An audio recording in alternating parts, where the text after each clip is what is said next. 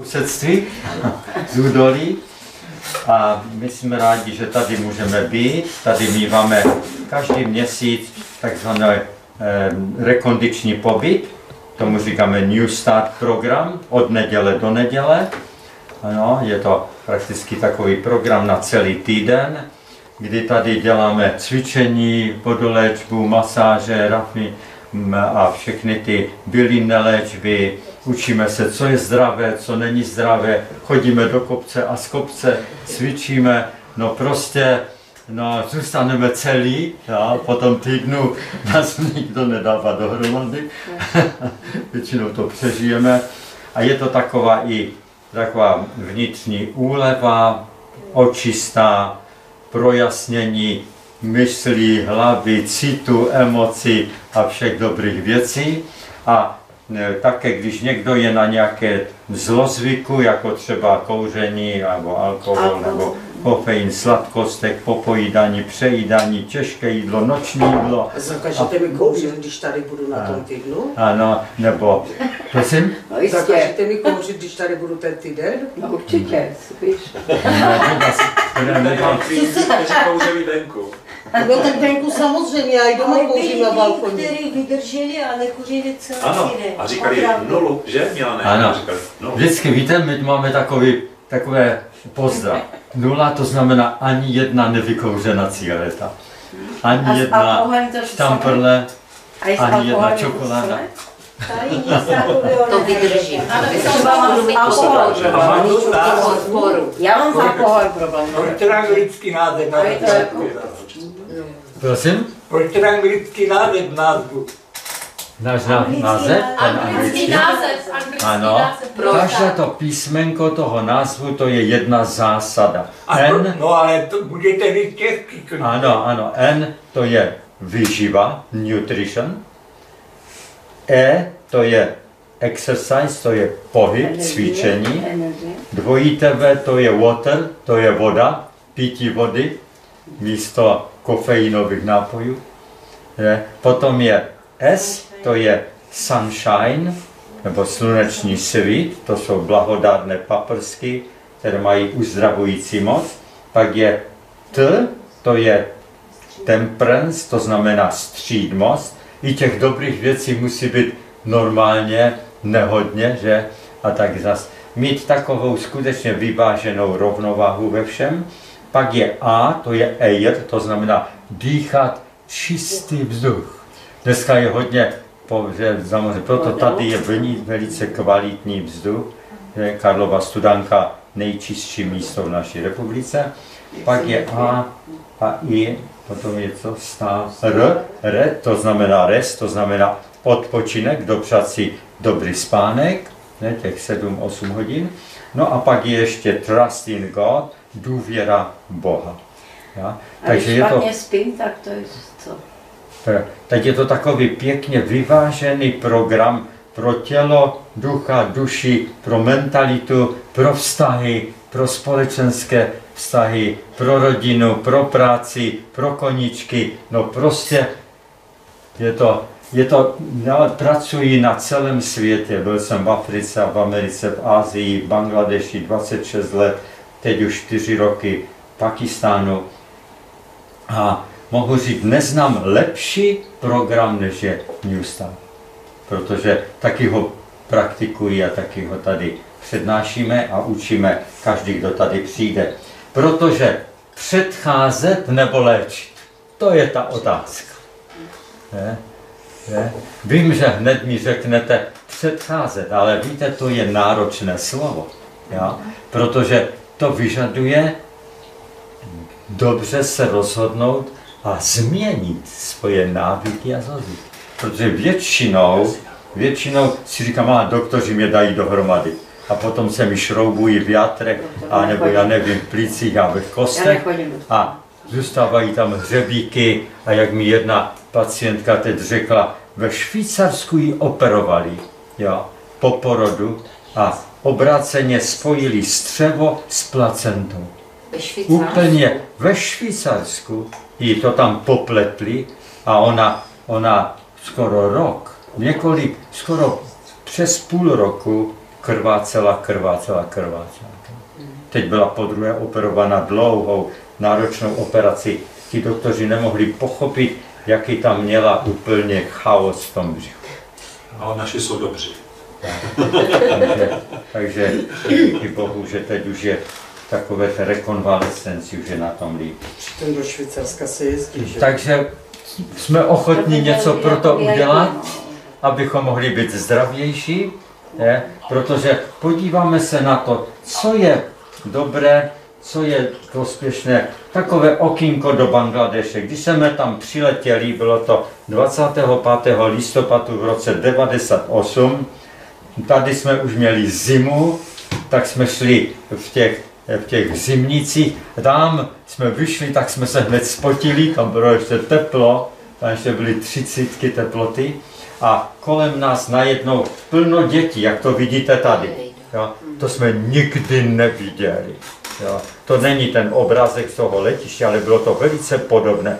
Kolem dokola všichni mě tahali za rukávy. Bongo, bakšiš, bakšiš, bakšiš, bakšiš. Po mně ty děti, já jsem to nikdy neviděl. Něco. Předtím jsme byli v Bosně s pojízdnou zubní ambulanci, jsem zubním lékařem, tak jsme měli tenkrát vládní projekt pro uprchlíky, kteří se vraceli po válce domů, tak jsme, vláda naše jim platila veškeré, veškeré ošetření, tak jsme tam pracovali přes Adru, jo, asi tři roky. No a potom se nám otevřely dveře do Bangladeše na kliniku, je tam zubní klinika, teď už tam máme dvě, stavíme třetí anebo čtvrtou, takže rozšiřujeme tam ten, ten, to pole působnosti. No a e, tak jsem nikdy neviděl takovou bídu, víte, na světě nikdy nebyly takové hladomory, jak jsou v současné době. Když jsem byl malý chlapec, si vzpomínám, v novinách jsem četl článek, že na světě umírá 10 tisíc lidí hladem každý den. Jsem byl z toho zděšený. Já jsem počítal, já pocházím z Českého Těšina, že? a to je malé městečko. Tenkrát to mělo zhruba 10 tisíc obyvatel, tak jsem přiběhl k taťkovi, říkám, tati, je to možné, jeden Těšin denně zemře hlady? To se mi nechtělo věřit. Jo? A, a dneska ani 20, ani 30, ani 50, ani 100 tisíc lidí denně umírá hladem. A Bangladeš je jedno z takových míst.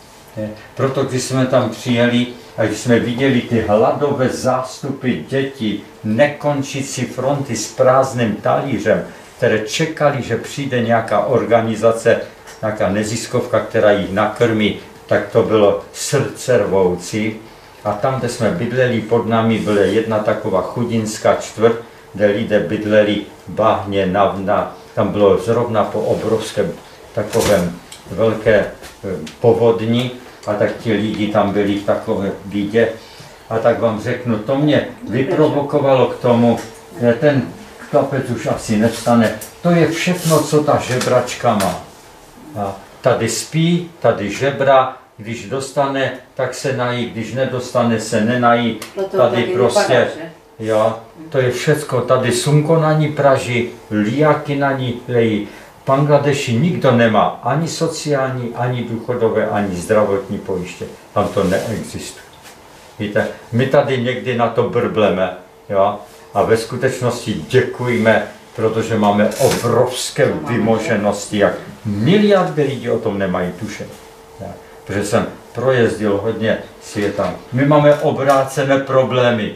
Tak jak tady ten bohatý muž, co si tady surfuje v Thajsku, je, patají na pěkných vlnách, je, a on říká, mám akademický titul, luxusní vůz, jsem finančně zajištěn, mám k dispozici více sexu a moci, než mohu zvládat, jenomže se musím ptát, jaký to má smysl.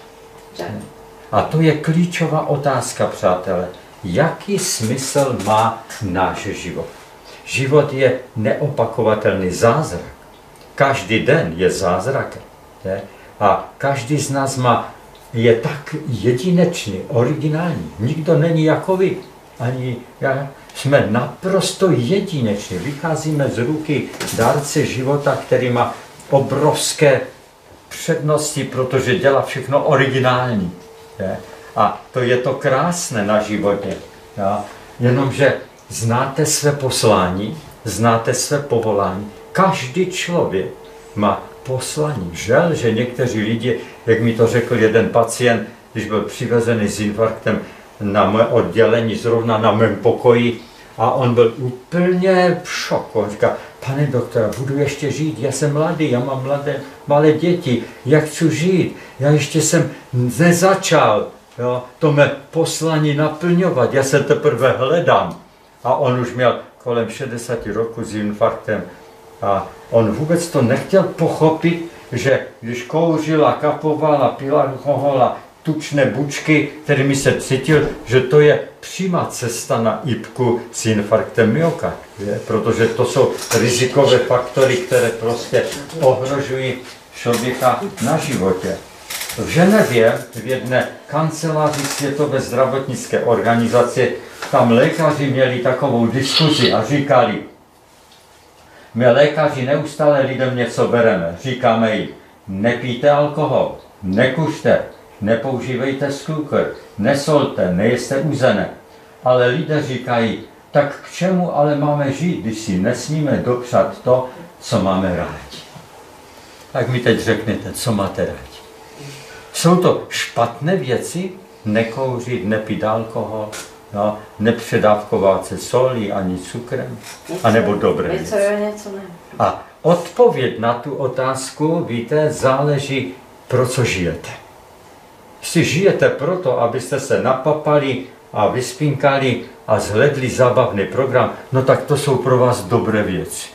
Ale pro mě, který dělá na klinice a mě ráno čeká zástup pacientů a já musím být zdravý a chci být zdravý, abych je mohl ošetřit, tak to jsou velice dobré věci. Ne? Protože když to budu dělat, tak nebudu nemocný, budu moci sloužit. Že?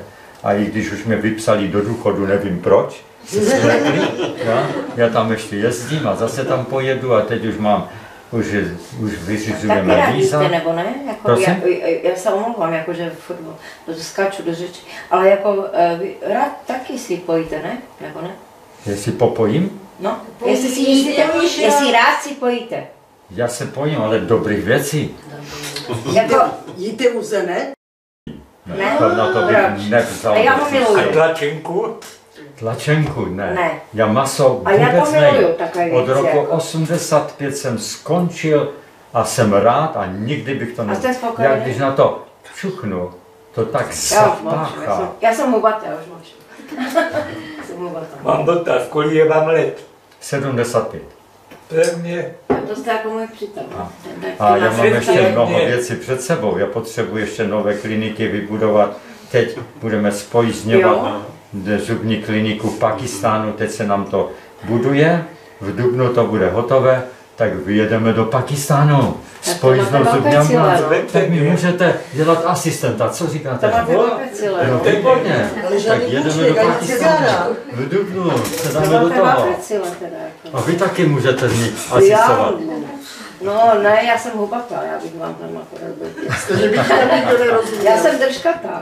Ale stejně by ti tam nikdo Nevadí, nerozuměl. Já vím, no, viděla tu bídu, jak ty děti umírají Ale jo, jako mě, tak by vás to, léčilo, Ano. víte? Slapobytí. Uh, Myslím, ne, ne, ne, ne, jako já bych, já bych byla hubatá, ještě bych nadavala těm Ne, druhým, co ne, tam ne. jako jsou. Ne, já jsem, já jsem hubatá. Mhm. Ne, já bych tam Víte, nemohla. Einstein to řekl tak, Nemohla bych tam. jo, Albert Einstein říká, myšlenka, že jsme na světě jen pro dosahování rozkoše a blahobytu, to je tak filozofie dobra pro stadové příkup. Oni se napapají, vychrochtají v báhně, je jim blaze, vyspinkají a co jim vyschází k blahobytu? A to nejde. Ale to není přece dobré pro člověka to nejde, jako inteligentní. nějaký se nažrat a jít to, jako, ne, o to nejde. O to nejde, právě, O o to to nejde. nejde, že? Je, je, je dobrá re, rekreace, relaxace, to je velice dobré, radost. Že jste dobré. tady bral vůbec. Já jsem hubata. Já už Nevadí. mlčím. Ne? Doktor Viktor Frankl, jeden muž, který přežil útrapy koncentračního tábora, napsal knihu a v té knize uvádí, že život každého člověka má jedinečný cíl a k tomu cíli vede jedinečná cesta. A on to tam přežil, jo, protože použil Četl jsem to, Ha? četl jsem tu knížku. Jo, tak to znáte, výborně, no. Tak to víte, co tam je, protože já to doporučuji každému přečít, jo. Jak za náročných podmínek prostě přežít. Dneska jsem se díval na, na takový klip videový, kdy jedna, jedna mladá dívka bez rukou sedla ke klavíru a nohama hrála. Noha, prsty ohýbala, jak, jak ruční prst. To jsem ještě neviděl. Já jsem viděl ledas, co? Viděl jsem jinou maminku. Prožínali světla. Já jsem to jako chtěl taky. tady promítnout, ale mi se to nepodařilo tam vpravit. Jo. Mám to v mobilu, jestli víš, jak to udělat a dát to tam. Tak příště, a příští přednášce vám to ukáž. Viděl jsem jednu maminku, američanku, která byla bez rukou, měla nohy a ona porodila dítě a ona ho normálně oblékala nohama. To jsem viděl. Normálně ho si s ním hrála a úplně ho o Já něho pečovala nohama. To, Já to je zázrak, že? Jestli znáte toho Nik Vujčiče, Vujčič se jmenuje, jo? on nemá ani ruce, ani nohy, jenom má takový pahýlek tady a on, on dělá velké turné po světě, jo? a on předvádí, jak telefonuje, jo? bez rukou, bez nohou, jenom má tady dva prstíky tady. Já obdivuju ty, jako že vás přerušu, obdivuju, zase jsem obdivuju ty, jako, jak jsou ti sportovci na tom, eh, na, že nemají nohy, nemají ruky a hrajou hokej a fotbal. Ty To olympiády. jako, jo. A to jsem úplně z toho v pasti. Jsem říkala, ty brďo, no tak to bych asi nedokázala. No. Nebo Já jsem četl o jednom, o jednom muži, který chtěl, eh, který žil na Novém Zélandě, tam jsou hory, a, ale při jednom takovém vyšlapu, a on byl horolezec, eh, jich zastihla prudká sněhová bouře, museli se schovat v jeskyni a jejich kamarádi věděli, tak oni tam zůstali. Večer se nevrátili, teď tak je začali hledat, jo, a teď tam v tom, v té jeskyni, jak je můžete najít, po 14 dnech je našli, ještě živé, jo, a odvezli do nemocnice, ale mu museli amputovat jednu nohu nebo dvě. Miloval se porvel. Jo, ale on normálně se nevzdal, začal jezdit na kole, začal vyhrávat ty olympiády a nakonec se rozhodl, že vyjde na Mount Everest, to byl jeho sen. A on jako první invalida s dvěma nožními protezami vyšel na nejvyšší horu světa a po té cestě jednu tu protezu zlomil a přesto tam došel. No, takže to smekám Se- před se- takovými velkou hrdiny, no. Kteří jsou schopni takových obrovských výkonů. Velkou No ale Quo Vadis, to znáte, že? Kam kráčíš? To je, víte, abychom byli skutečně zdraví ve 100 letech, že? A máme už k tomu blízko. za 30 A let. Máme jednoho 25. našeho spolupracovníka, doktor profesor John Scharfenberg byl tady už několikrát, on je američan, profesor na Lomalinské univerzitě. tomu. Já ho znám, viděla jste ho? Setkala jste se s ním? Ne, deset. Ne. A on tady má, je pozvaný, on tu letos přiletí, on má 100 let. V prosinci měl 100 let. On přednáší většinou z paměti. Jo. Já ho znám už léta, někdy se s ním setkávám jinde ve světě. A to je mimořádný doktor, profesor, on je poradcem některých vládních eh, komisí pro COVID, třeba on byl v té komisi pro COVID ve Spojených státech. A on je skutečně, já, já ho velice obdivuji a, a učím se, jak to dělat, abychom ve sto letech byli bytí pohybliví. On jezdí bez doprovodu po Evropě, neumí česky ani slovensky a sám jezdí dopravními prostředky. Sám. On se nebojí, že se ztratí a on prostě je tak bystrý a čilý. To je, to je obdivuhodné. Eh, Obdivuhodné. Tento muž, bohatý švýcarský bankéř, byl pravý opakem. On, když přišel na kardiologii, tak mu ti doktoři po vyšetření řekli, pane Zundel, je nám líto, ale ten váš životní styl, jak vy žijete a jak to vypadá s tím vaším srdcem a s těma cévama, víte, do dvou let tu budete s infarktem myokardu, pokud se nezmění. Když potom šel na onkologii a tam po vyšetření mu řekli, pane Zundel, víte, nechceme vás strašit, ale v krvi máte maligní buňky, zhoubné rakovinné buňky. Když vám to někde sedne na důležitý orgán, tak počítejte s tím, že do dvou let budete na tom velice špatně. A když mu ještě ortoped řekl, že jeho klouby jsou velice slabé, že ho čeká vozíček, tak on se zhrozil. On říká, tak k čemu mi jsou všechny ty miliony, protože on je velký bankéř. Jo. Když já mám umírat do dva roky, jak chci ještě užít rodiny, tak se rozhodl tak. A ve Švýcarsku máme krásnou horu, Matterhorn, na to se budeš škrábat, přestaneš jíst všechny masité živočišné věci, dáš se na rostlinnou stravu a budeš cvičit a všechny ty věci lítaní po konferencích necháš být.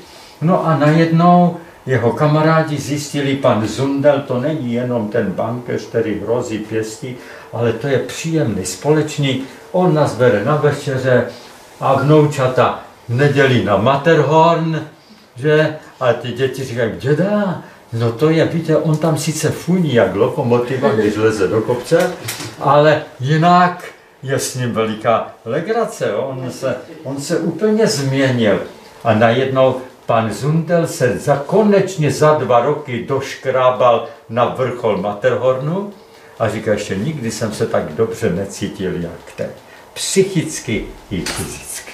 Jak bez masa ani, ani, ani ráno. Tak dobrou chuť, ale jdeme na Matterhorn. No, taková, no. Jo, dojdu, klidně. Ale jako bez masa ani ráno. Nějaká zelenina mě neoslovuje. No, Jako já nikomu neznucuju se. ano, samozřejmě, každý, Každý má, každý má, každý má svoje. jo, jo, každý má volnou možnost si vybrat. Každý z nás ale chceme mít zdravé, krásné jako, jo. děti. Já, já jsem se dneska dověděl, že můj vnouček, jsem ho viděl, už začíná chodit na ko- po čtyřech, jo. Zatím jenom ležel a dneska poprvé už ušel, jo, k, k mobilu, ne, ne, ne, k počítači, tabletu. No, a to je důležité opravdu. Tak to bylo první jeho, kdy se dal do pohybu a sahl na to. A to bych mu zebrala. a potom Už zatím, jsem já zase. a zatím byl jeho klavírek, Aha. tak druhá cesta byla ke klavíru a už tam začal vyhrávat na klavíru. Tady jsou malomocní. Víte, v Bangladeši jsou ještě malomocní. Je to poslední země se čtyř posledních zemí na světě, kde malomocenství není pod kontrolou. Je, jsou tam stanoviště, kde se dávají zdarma léky pro tyto nešťastné lidi, ale častokrát ti lidé nevědí, že to mají a také nevědí, neumí číst a psát. Bangladeši je obrovská negramotnost. Jsem neviděl. Jsem se poprvé setkal s negramotnou pacientkou v Bosně. Jsem byl z toho vedle. Paní dospělá neuměla číst a psat. Když se mi řekla, aby nám napsala svoje jméno, tak ona mám ho nebyla schopna napsat. A v Bangladeši většina lidí, většina lidí, to jsou jenom teď děti, kterým se teď umožňuje do školy a ne všechny, jenom některé. A takže před klinikou jsme častokrát měli slepé, kulhavé, každé ráno přišel zástup, jedna paní na vozíčku, malomocní a ty děti s nataženou rukou.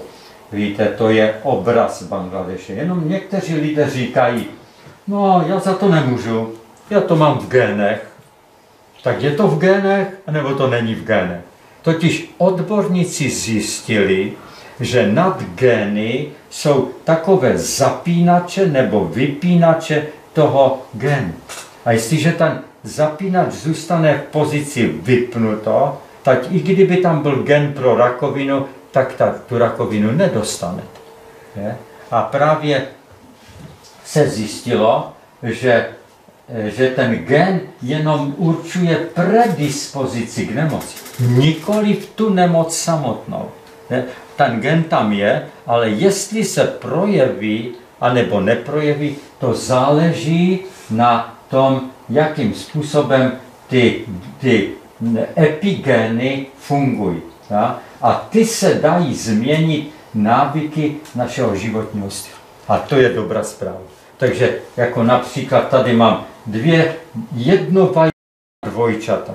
Jedna jo, žila nezřízeně eh, a zemřela na rakovinu, ta druhá ji přežila o 26 let a nikdy rakovinu nedostala. Přitom gény měly úplně stejné. Obě dvě. Podle mě má Takže eh, to- rakovinu každý v sobě. Akorát záleží na tom, kdy se projeví. Ano, kdo kafuje, nekafuje, pije, nepije, že je díky myslím, že jako- uzeniny nejeste, rakovina- protože Rakovina je v tom těle, ale jako záleží. No, není pravda, ona projeví? tam nemusí být, no, ale může se stát, že ten člověk nezdravě žije a potom oslabí imunitu natolik, že se tam najednou ty rakovinné buňky vytvoří. že? Ale většina z nás, pokud jsme se narodili zdraví, tak jsme tu rakovinu neměli, to bychom v dětství už na to doplatili. Já jsem měla rodiče 86, 88 roku a jako rakovinu neměli. Ne? Takže je to náš životní styl, kterým se lišíme, který nám pomáhá předcházet nemocem, bolesti, mimořádným návštěvám u lékaře, nadměrným účtům za zdravotnickou péči.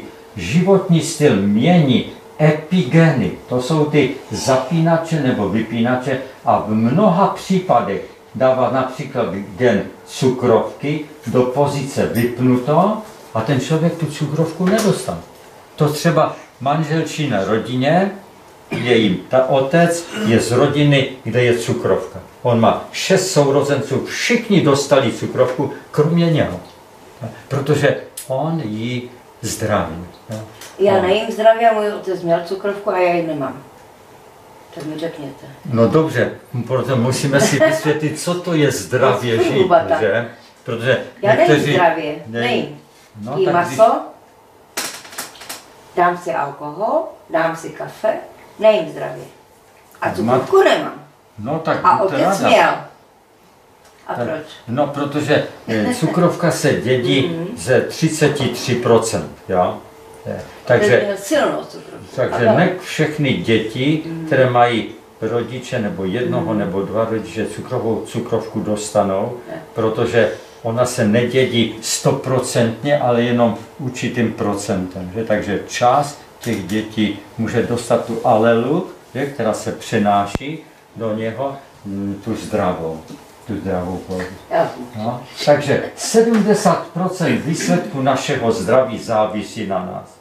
Jestli si dáme říct, jsme ochotní něčeho se zdát, co je škodlivé, a něco dobrého zase přijmout ne, a pěstovat to, protože jo, zda máte chronické nemocnění nebo pulzující zdraví, záleží ze 70% na tom epigenomu vašeho životního stylu a méně než 30% na vaší lékařské péči, posloupnosti těch genů, které jsou v té dezoxyribonukleové kyselině, v těch chromozomech a na prostředí mimo epigenom. Doktorka Blackburnová ano, eh, zjistila, že na konci každého chromozomu je takzvaná teloméra, taková špička, z které vychází ochranné vlákna, která chrání celý ten chromozom před těmi škodlivinami. Ano. Ale v průběhu života, když přicházejí ty škodliviny, hlavně z těch masa, vzduchu a toho, ty chemikálie, tak oni zkracují tu špičku, ona se zakulacuje, zakulacuje, zmenšuje, zmenšuje, tím se ta ochrana toho ch- chromozomu snižuje a potom dochází k onemocnění. Takže a ona říká, je to nositelka Nobelovy ceny, doktorka Elizabeth Blackburnová, ona objevila enzym, který tu špičku udržuje. A ona píše, že klíčem k zabránění vytváření ranných rakovinných buněk a ke zpomalení procesu stárnutí je udržet zdravou špičku chromozomu. A to se děje právě zdravým životním stylem. Jo? Když si dáme říct a jsme ochotní, tak potom nám jo, ty geny, které tady jsou, v té šroubovici eh, toho, toho chromozomu, těch, těch kyselin dezoxynukleových, ano, tak to vidíme, tady to máme schematicky znázorněno, jsou dusikaté báze, adenin, gu- guracil a cytozin a ty se kombinují je, a rekombinují v různém postavení a tím se vždycky ty triplety, to jsou takové ty genetické informace, které tam máme. No, ale jsou tady právě ty epigény, a, které jsou jakousi ochranou nad těmi škodlivými geny. A, a když oni jsou v pozici vypnuto, tak jsme chráněni. Doktor Ornish, americký lékař, který dělal právě výzkumy v této oblasti a myslím, že dělá stále, zjistil ohromující výsledek, že ti, kdo se řídili jeho programem životního stylu, který zahrnuje řádnou stravu a cvičení, zvýšili produkci telomerázy, toho enzymu, který drží tu koncovku chromozomu svým tělem až o 30% Takže skutečně víte, že zdravý životní styl nám velice moc pomáhá. Máme šanci se dožít 100 let, bude-li všechno je možné různým způsobem a i více. Protože odborníci zjistili, že lidé by klidně žili 120 až 40, 140 let, kdyby dbali na zdravý způsob života. Třeba v Hunzove v Pákistánu, tam je takové údolí, tam jsou lidi, kteří žijí 140-150 let. Jo? Je? Protože tam je, je také čisté povzduší samozřejmě a další věc. Takže co děláme s vysokým stresem? Udržujeme stres na nízké hladině a telomery krásné, dlouhé, tím, že cvičíme. Je? Tady máme pěkné prostředí na pohyb. Nedostatek spánku podněcuje změny v projevu 224 genů. Dneska lidé strašně trpí chronickou únavu. Je to dáno tím, že spí. dlouho v noci čatují, dívají se na televizi a různé takové věci. Potom spí krátkou dobu, ten organismus se nedokáže zbavit škodlivin, protože spánek to je proces, kdy se vám vyplavují škodliviny a kyseliny z těla. Jo? Budu vám oponovat. Já televizi nemám. Na televizi se nedívám. Chodím spát 10 hodin, ráno ve dvě, ve tři jsem zhodu. Proč? Víte, to je, to je důležitá otázka zkoumat to, jo? To teď tady za minutu nevyřešíme, No jistě, že vám potřebuji jako- to udělat dobré vyšetření, čím to je. Můžeme potom na konci o tom více podiskutovat. No, teď Jako dále. no, Vitamin D je znovu objevený protirakovinný vitamin, který reguluje v lidském genomu více než 2000 genů. Proto nevím, jestli znáte svoji hladinu vitaminu D, ale nechte si to vyšetřit, jo? Že je velice dobré vědět, kolik mám a po určité době třeba po půl roku si to znovu dát ověřit a teď to můžete srovnat. Jo? Protože většina lidí má nízkou hladinu vitaminu D. Jo? Proto se dneska doporučuje přijímat vitamin D tabletový. To z čeho? Jako Jo? Protože, protože podívejte se, teď máme strašně málo slunka. Jo. A i kdybychom v létě měli slunko, tak to stále, to bychom museli v plavkách chodit každý Já nemám den. ráda sl- slunko. Jo? A proto nám vitamin D chybí. Jo? Nemám ráda. Proto je moudré mít to někde doma, třeba vám to dají kopii z toho výsledku, vám dají u lékaře domů a tak si to schovávejte někde v sešitě nebo někde na místě, abyste si to čas od 10 času mohli pr- proměřit a prověřit. Okay?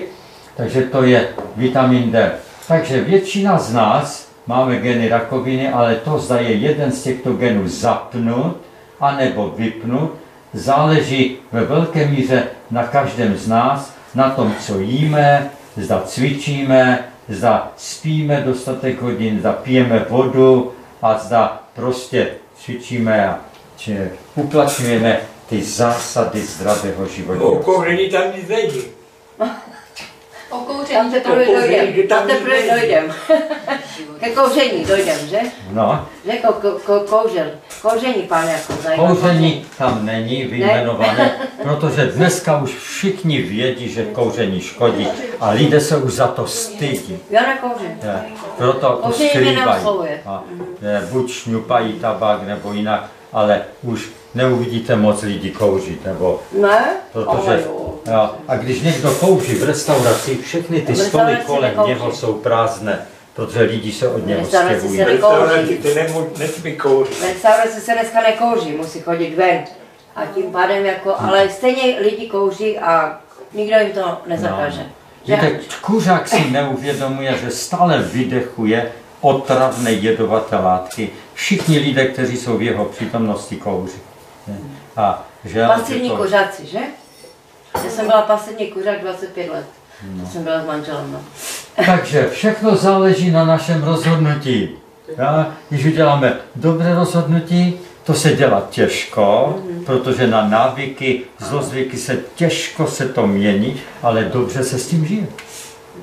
Špatný návyk přijmete jednoduše, kamarádi vás svedou a dáte se na to, ale potom ty důsledky toho musíme také snášet. a Tož ulej, ne? Nežije dobře. Že? Je. Proto potřebujeme žít nějak tak vyváženě. Jo. Dostatečný spánek je vynikající prostředek. To nás spát. očišťuje. Je? To nás spát. pročišťuje. Jo. Dalším důležitým je správně jíst. Udělat skutečně aspoň takový velice dobrý výběr. Ja? Jo? Protože to, co víte, pouštíte dovnitř vašeho těla, to vás nejvíce ovlivňuje. To, co je tam někde daleko, to nemá pro vás význam. Ale to, co pijeme, co jíme, s tím se naše orgány setkávají a tak, když je to kvalitní ovoce, zelenina, ořechy, luštěniny, celozrné věci, tam jsou vitamíny, stopové prvky a všecko vyživa, co všechny ty buňky potřebují. Jo? Ale když tam budeme dávat jedovaté věci, tak samozřejmě to oslabí imunitu, nervovou soustavu, zažívací tkáně, všechny ty citlivé buňky, to oni potom prostě musí se chránit před těmi škodlivinami.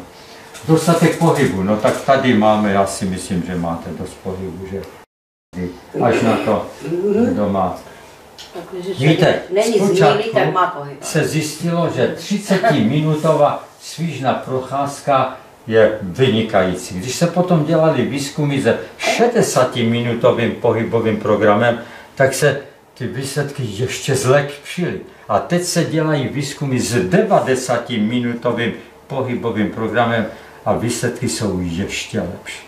Takže pohyb, pohyb, pohyb je jedno z nejlepších medicín vedle pití vody.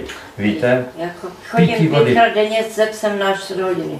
Doktoři vám jasně řeknou, lidé po 40 se necítí žízeň a myslí si, že vodu nepotřebují. Musí. A to je obrovská chyba. No já- Každý z nás. no, Já nemývám žízeň. no ale ne, nebývá jako, že mus, No. mu, když mám žízeň, musím se napít. Ne, člověk musí pít průběžně. Ano, ano. Kolik potřebujeme vody denně?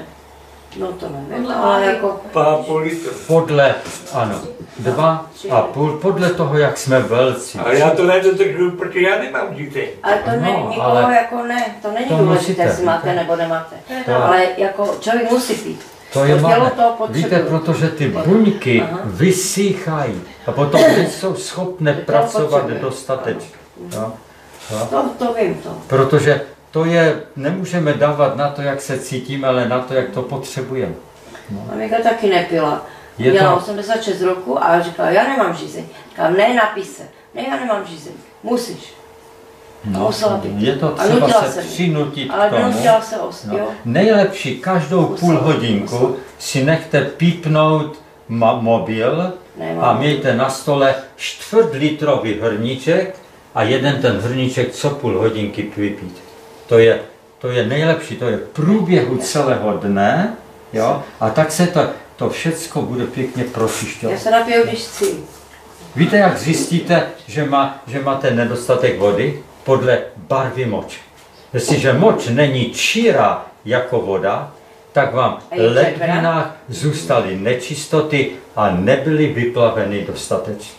Moč musí být čírá jako voda. No, Tenkrát jsou ledviny pěkně pročištěné ne? a nehrozí vám ledvinové kameny. Ale když, když je, jo, někteří mají tmavou moc, to znamená, že tam je hodně usazenin. Tam v ledvinách jsou tenoulinké kanálky, jich tam je milion, velice tenoulinké. A one se potom začnou ucpávat, začne se tam ty látky nalepovat, vzniká tam nejdříve písek, pak zrničko, pak kamínek, pak, já jsem viděl ledvinový kámen o váze kilogram a půl. Víte, co trpěl, také A jak bolesti, potom jako to? koliky. A jak potom to jde ven? Cože? To nejde ven, to musí se operovat. No to se musí operovat, samozřejmě.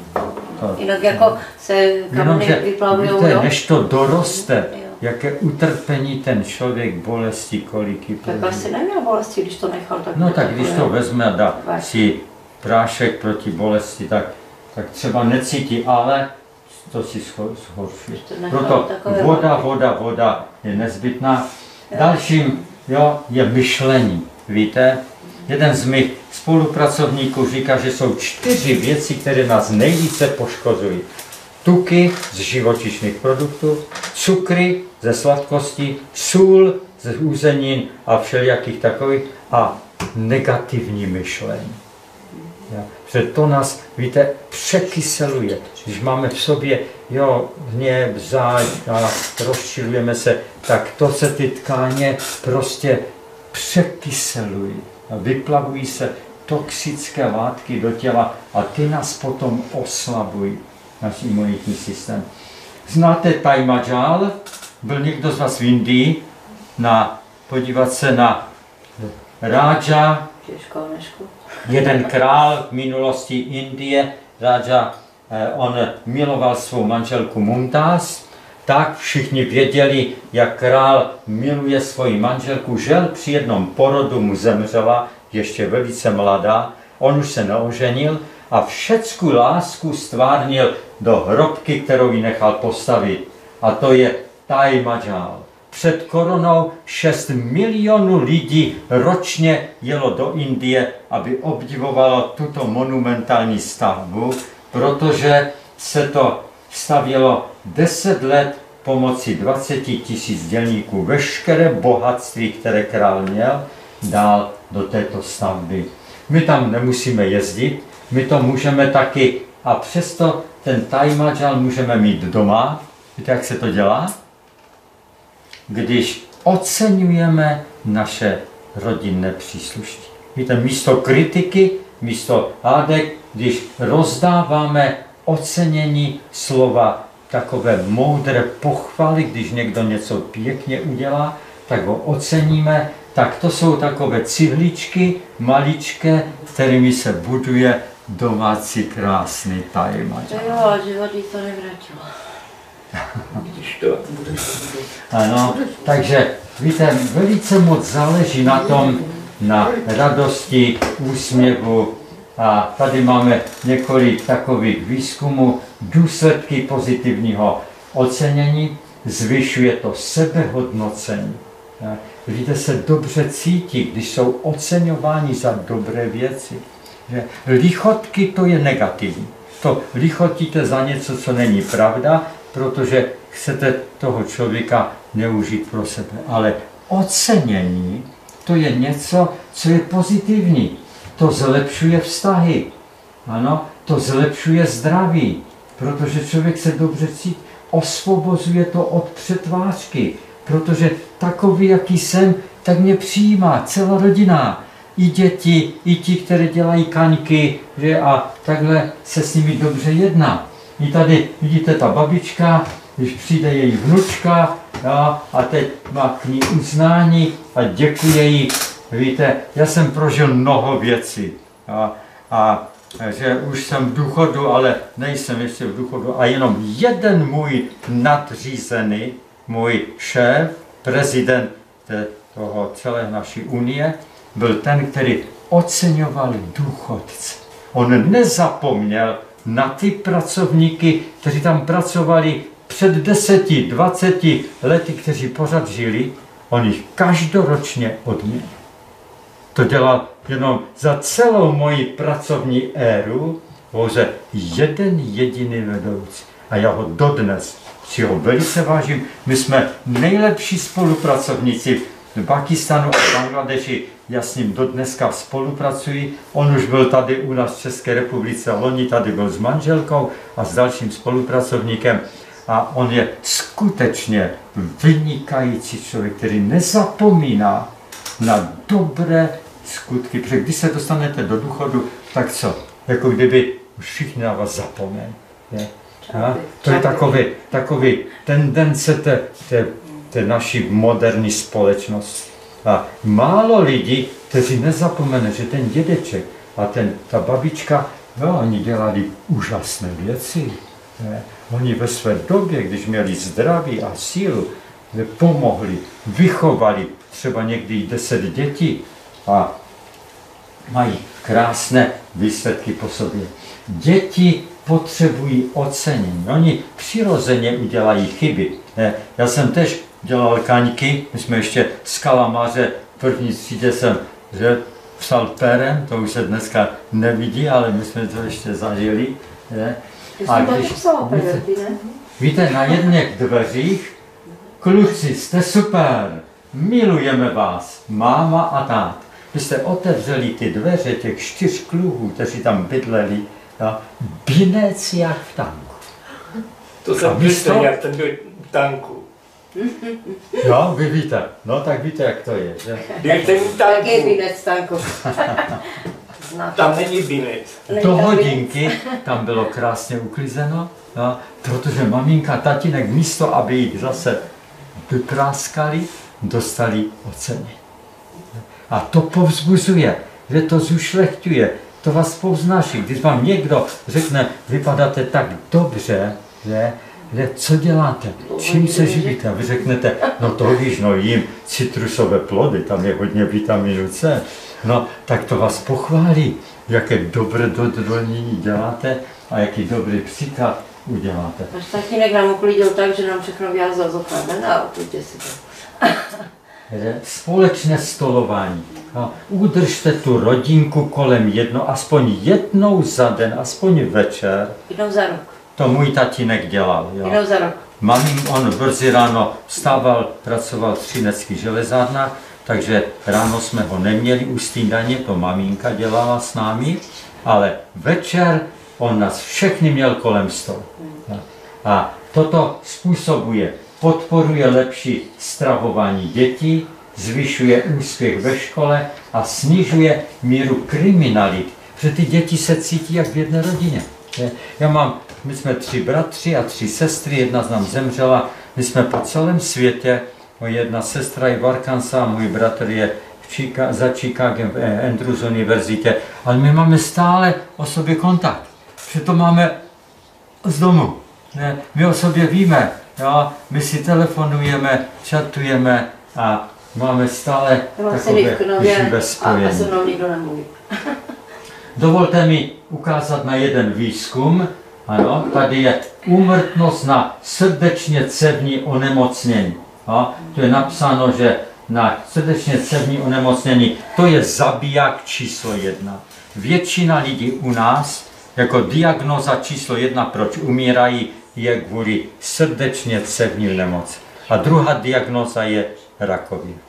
Stačí dvě diagnózy a většina lidí zemře kvůli těm dvěma rakovinám. Proto když předcházíme onemocnění srdce, automaticky předcházíme i onemocnění rakoviny. Protože zdravé zásady, které chrání naše srdce, chrání také naše tělo před rakovinou.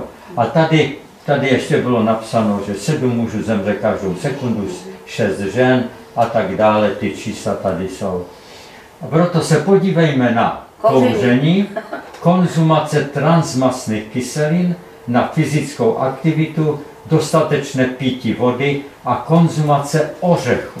Že se zjistilo, to se ještě donedávna nevědělo, že ořechy chrání naše srdce. Nejenom mozek a nervovou soustavu, ale je také pro zdraví našeho srdce. Co, zvlášť třeba para ořechy, to jsou ty dlouhé, ty, jo, ty brazilské. Stačí dva denně, tam je tolik arze, to, tolik eh, selénu, který nám spravidelňuje pohyb srdeční. Mnoho lidí trpí takovou balanci, jo? prostě nemají pravidelný úder srdeční, mají arytmie, ať už flatery, míhání, anebo extrasystoly a další takové poruchy. Jo? A právě para ořechy, když je jíme pravidelně, denně si vezmeme dva, tak nám pěkně pomáhají spravidelňovat úder srdeční. To je dobré to vědět, jo? protože omega 6 to jsou, to jsou um, ty mandle, tam je, a omega 3 jsou vlašské ořechy. Proto ty tři druhy ořechu, vlašské, para a mandle, jsou nejdůležitější. Ty potřebujeme denně. No, to o tom ještě přijde řeč. Takže kouření zkracuje život v průměru o 8 let. Existuje pasivní kouření, když někdo z rodiny kouří, všichni kouří a všichni také dostanou rakovinu dříve nebo později. A je ještě kouření z třetí ruky, to je kouření, kdy sice ten kuřák vyjde ven, tam vykouří cigaretu, přijde zpátky, stále vydechuje cigaretový kouř. No, a tam je 4 tisíce karcinogenních látek. On si neuvědomuje, často si to neuvědomují lidi, kteří žijí s ním, že on stále při dýchání jeho oděv to má, jeho vlasy, jeho kůže, jeho pokoj, všude, kde on je, on neustále jo, vysílá jedovaté karcinogenní. Proto poproste, požádejte všechny kuřáky, ať s tím radikálně, okamžitě, bezprodleně skončí. Ano, dále. Transmasné kyseliny, které to jsou? To jsou ty tuky, které se dávají do těch řezů, do těch prostě tak těch laciných různých řezů a takových těch sladkých těch keksů a takových. No. Tam nejhorší je palmový a, a kokosový tuk. A to jsou prostě nejhorší. Ty nepouštějte a to je právě tady v těch transmasných kyselinách. Zvyšuj, snižuje to dobrý cholesterol a zvyšuje to ten zlý, který vám ucpává cévy. A způsobuje zánět cév a, a další problémy.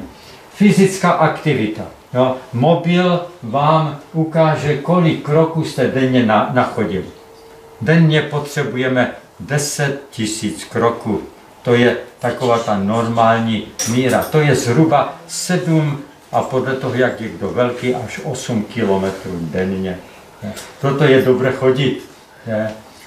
Chodím pětkrát denně za psem. Kdo má zahradku, to má jednoduché, že? Kdo má zaměstnání, kde pořád chodí, to má jednoduché, ale ti, kteří mají bydlí v bytě, zahradky nemají, kteří mají sedavé zaměstnání, nebo důchodci jsou tež někdy v pokušení jenom sedět, sedět, sedět. Na balkon a zpátky, jak můj A to je, ano, Než chodí na balkon. Říká, já jsem byl na procházce na balkoně a zpátky. Skačka má. No, tady vidíte, daleko. ti, kteří se málo pohybují, tak tady jsou stoprocentní infarkty. Ti, kteří chodí nejenom pět hodin týdně, ale ještě více, tak je tady snížení infarktu o téměř 60%. Více než polovina infarktu by nikdy nebyla, kdyby lidé více cvičili. Další je e, pití vody. Ano, že tady 2, 2,5 až 3 litry, kdo je velký, potřebujeme denně vypít vody. A také srdce až o více než polovinu, že až na snížení na 38% ze 100% se sníží úmrtnost na kardiovaskulární nemoci, na nemoci srdce. To je dobrá zpráva. že? protože ale nesmíme zapomenout pít. Jo? Jo, jako... Jsou ty flašky jedna litrové, 1,5 litru, to si dejte, to máte na dopoledne a druhou, jo, protože dvě takové lahve potřebujeme denně vypít. To je nejlepší. No a ořechy, doporučuje se hrst ořechu denně, ne jednou za týden nebo jednou za měsíc, upec ořechovou buchtu, to není ono to vám nic nepomůže. Jo? Ale když to máte denně, denně by měla být na stole mísa s ořechama. Jo? Měly by tam být mandle, vlaské ořechy, para ořechy. A potom třeba kešu, pistacie a další, další, další. Ale ty tři druhy, ty jsou nejdůležitější.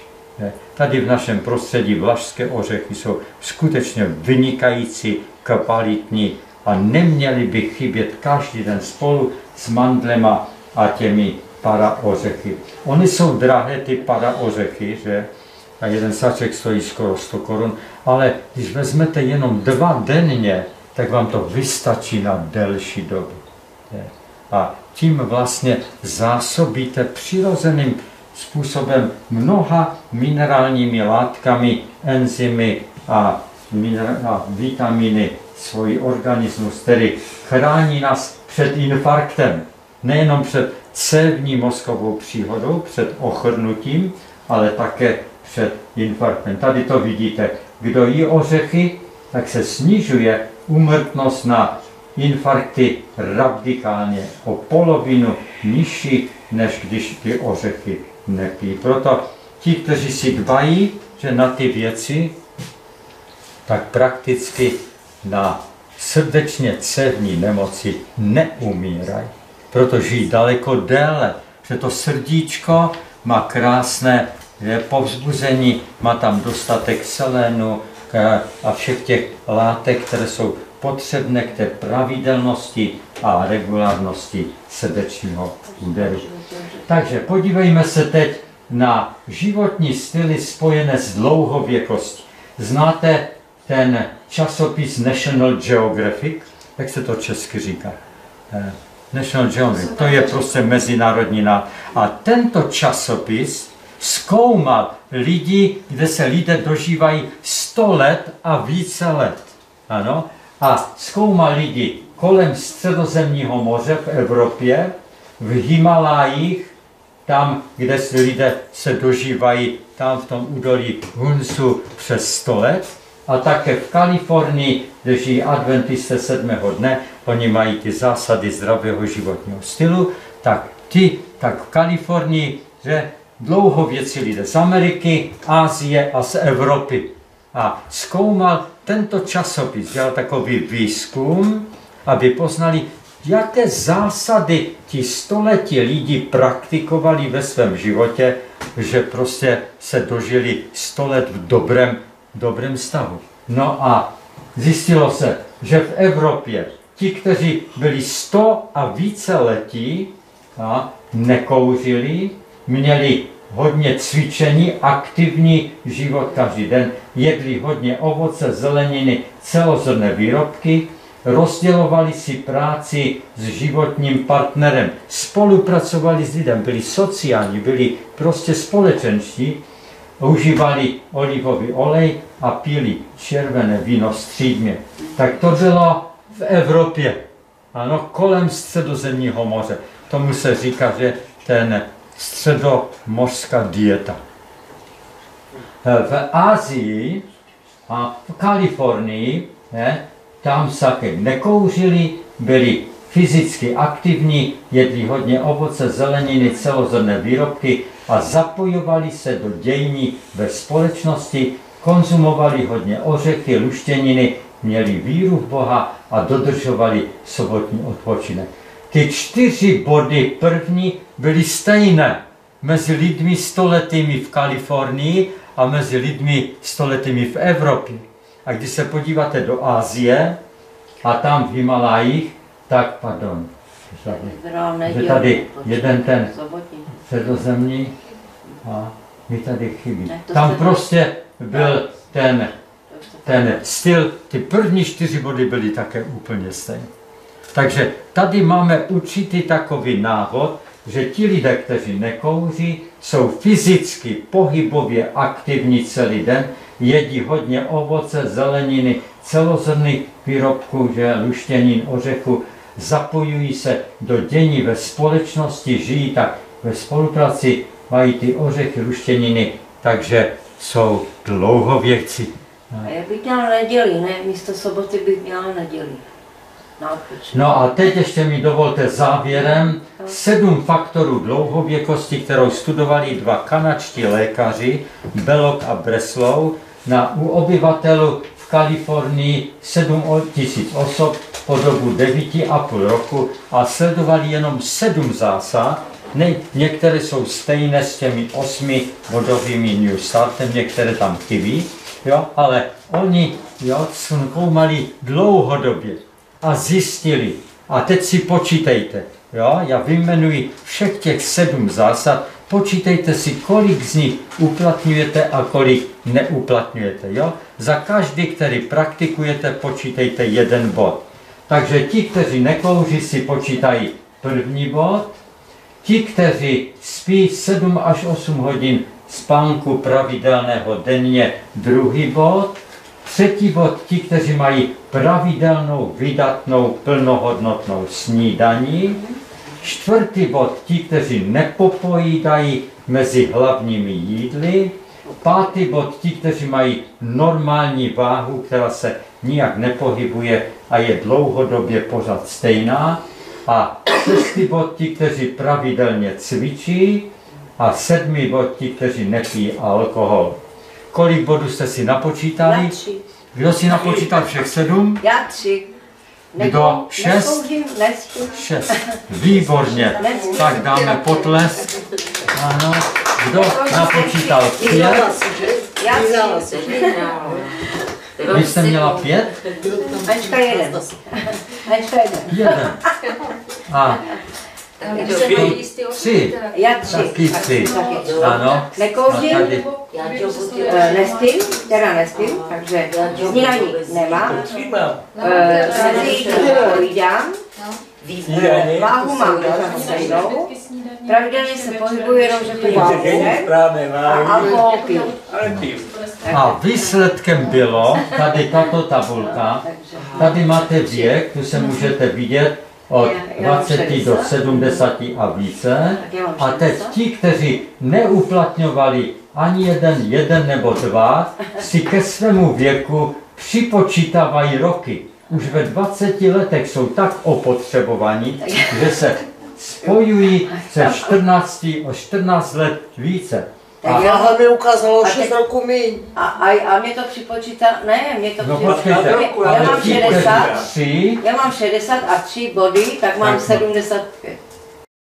tak máme co dělat. Co? No, máme co, Že? pro co Vaše No, váha mi no. ukázala o 6 roku A míň než máma, tady tady přišli 22. 70, To jsou dva, dva, To není váha. ale podívejte se, ti? Kteří uplatňovali všech sedm, tak máte tady minus, minus od Ne, já mám 10 jenom let no. až do téměř Takže já mám 20 let, 74 roků. 70, Ty no, to jsem 70 babka stará. let. To jsem babka stará. Takže tato tabulka nám jasně ukazuje, že všichni, kteří Aličko. ty zásady zdravého životního stylu, vy se tady někde chytáte, že? Já mám 60 až 47, tak Ano, nevím, jak takže to tady, takže si No, odpočítáváte 50 pět. minus no, těch 6, tak No tak 45. dobrá zpráva, ne? no, já A já mám Dobrá 75. Dobrá zpráva. A já mám to přichodí 75. Takže, Jako, to jsem dopadla. No, jo. ale všecko ještě to nekončí. Můžeme se ode dneška udělat dobré rozhodnutí. Ano. Já nekouřím. Aby, aby ta vaše, ten váš nemám. pobyt tady byl užitečný a abyste tu nepřišli zbytečně, No, já si musím s váma nějakou zkusku. tak já bych vám chtěl doporučit to, co vám chybí, abyste si řekli, ode dneška to začnu praktikovat. Chcete mě zabít? Aničko, nehu. A teď já jsem pořád veselá, jako tady toto, kdybych měla začít ze dne na den, tak mi to zabije. Ne, ne, já neříkám všechno, ale jenom jednu věc, ano, jednu věc, Ano. Milane, ještě tu je námitka, že si tam všimli, že skleničku denně vína, že si teď myslí, že mají Jestli máme dát. Jedna sklenička vína. Byl veliký výzkum o alkoholu na celém světě. V Seattle, víte, kde je Seattle? To je město ve Spojených státech na severu. Tam byli ve velké lékařské klinice a fakultě lékaři, kteří byli zaspozorováni Billem Gatesem milionem dolarů a dělali výzkum o škodlivosti alkoholu. Vzorky brali z celého světa a chtěli vědět, kolik je bezpečného alkoholu. Jestli si mohou jako přípitek tu štamperlí dát. Zjistili, jo, ten výzkum trval dlouho, zjistili, že ani jedna kapka alkoholu není dobrá. Ne, alkohol kompletně škodí. Proto oni se rozhodli, proto se rozhodli, že přestanou přípitky alkoholem. Víno není Takže alkohol. já, já nekouřím teda. Žádné Ne- kouření, Nekouřím, nespím. žádné alkohol. Pravidelnou snídaní nemám. Pojídám mezi jídlem. Udržování správné váhy mám. Pravidelný pohyb mám, ale chlastám. Tak já bych vás chtěl poprosit, abyste udělali dneska dobré rozhodnutí a jednu, jednu zásadu, která tady vám ještě chybí, Asi pro ní se rozhodli. Asi nechlastám. Vy byste chtěla co přidat, ne ode dneška? Já bych chtěla jako ten alkohol. A to chceš už dávno, No prosím jistě, no, to- a nebudu Ano. důležitá. Vy byste chtěla, který vám chybí ještě? Uh, nepojídání mezi jídly. Já Ano. uzobávám pořád. Já taky, já od rána do A to večera. máš taky jediné, ne? Co, co ti tam chybí? A kde, a kde To máš jediné. No. Já Že jo? pravidelně No a nemám stoprocentní, třeba přiznám se, když uh, jdu na dobrou večeři s přáteli, nebo ke kamarádka mě pozve domů, uvaří večeři a třeba si dáme skleničku dobrého červeného vína. Jakože si to ospravedlňuji tím, že pan doktor Ryšávka, který zkoumá střevní mikrobiom, takže to je potrava pro... Ale já vím, že to je špatně. ale to je to je taková... Výmluva. To je výmluva, no. Výmluva, protože on to má. Já jim, já jim jednou A vy denně. byste se vidět, halo. Na vás tohle není vidět. Není právě, no. Vy jste Tak dobrá. dodržu, a mám asi taky něco v genech po Jo, ty jsi dobrá, jako. Ale já jim jednou Ano, A denně, vy se rozhodujete večera. pro co? No, já jsem na tím strašně všem, já mám dost na výběr. jako, no. Já jim jednou denně, od rána do večera. Já bych ráda déle spala. No to A je už roky se ukecávám na pravidelnou snídaní. Já vždycky vydržím pravidelně snídat, když jsem u někoho na návštěvě, anebo když přijedu z nemocnice asi. týden. Nesnídám, já snídám, když se mi chce. Tebe se neptal, to se ptal. Dobrá, mlčím. Nepojídání mezi jídly s tím nic neudělám. No, já Udržení té správné váhy, já to už pár let váž, vážím stejně, to jediné mi zůstalo, jo. Pravidelný pohyb ten celkem mám, ale ne tak, jak bych si představovala. No ale jednu věc, přestaňte popojídat mezi hlavními jídly. To nepůjde. Bude se cítit dobře. Jim od rána Já jsem večera. spokojená. Jednou denně. Já jsem Od rána většinou s na tváři, já jsem pořád spokojená. Já vždycky naši. Ano. Ale ona kouří, já ne. Ano, tento program, když byl hotový, tak vyděsil lékařskou společnost. Nikdo nechtěl věřit, že by takové jednoduché věci mohly prodloužit lidský život o tak velkou dobu. A ty se mají jíst jsem říkají, že ovoce se mají jíst na, jíst na lačno. Ovoce, No, kdy no. se má ovoce, kdy se má jíst když ovoce. budete jíst pravidelně vydatnou snídaní, vydatný oběd, jak to tady máme, nebudete mít vůbec hlad na večeři, budete dvakrát, pokud máte sedavé zaměstnání nebo jste důchodce, nepracujete manuálně, tak vám to bohatě stačí. Protože výzkum v Anglii a ve Švédsku potvrdil, že lidi se sedavým zaměstnáním stačí jim dvakrát denně jíst. Vydatná snídaně a vydatný oběd. A mezi tím žádné jídlo, jenom pití vody. To je nejlepší. To je nejlepší. Já. Já to sám vím na sobě. Jo? A tady, tady mnoho lidí to tak praktikuje, je to vynikající, to vynikající. Velice se vám šetří tkáně. Jo? Dá, ten žaludek není přetěžovaný stálým popojídáním. Že tam, no tak to musím řešit. No. Sladkosti, to, to zhoršují. Nej. Nejde sladkosti. Takže pohyb. Takže pohybem Chodím, chodím, chodím. A Když chodím, tak mě nohy nebolí. Ale lehnu, Víte, vás Víte, vás Jo, třeba, no, ne, jak sladké nejsem. Ze sladkého mám nedostává. To vás skoro neviděl, ale já už vás nikdy viděl. Návyky, no.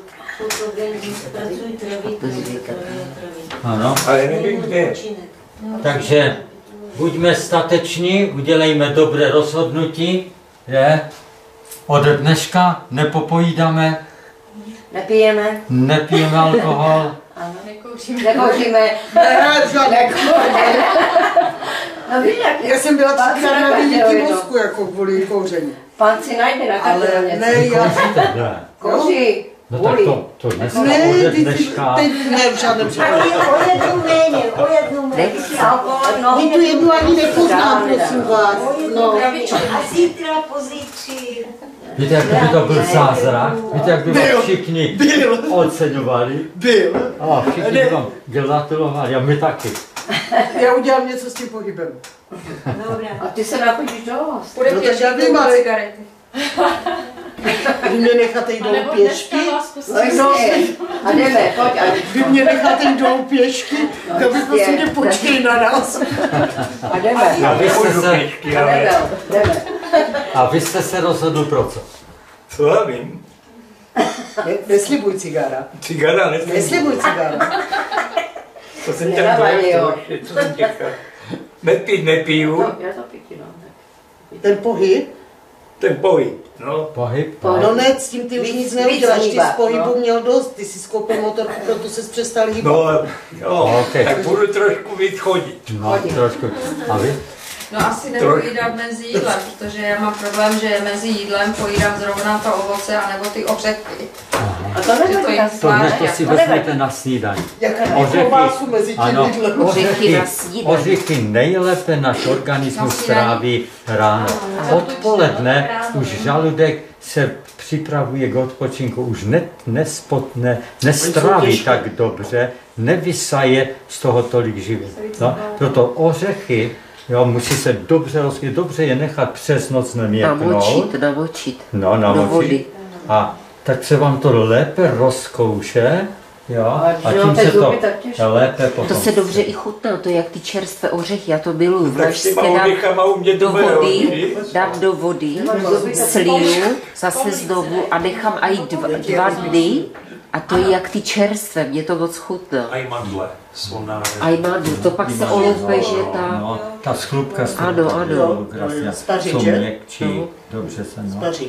Spa, no, No já mám radost z toho, že každý z vás si odnáší medicínu do svého Jako domu. jo, ale víte jak, udělat, ne? Když to nedodržíme, že jo. Podívejte se na toho šneka. No, to je Vyškova budova.